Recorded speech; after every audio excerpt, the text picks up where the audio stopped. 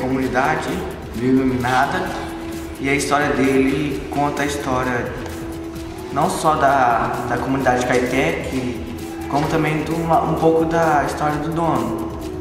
Aí ela mostra o, como que essa empresa gera uma energia sustentável, que ela não precisa mais pagar para sua energia, ela, ela produz e vende a sua energia.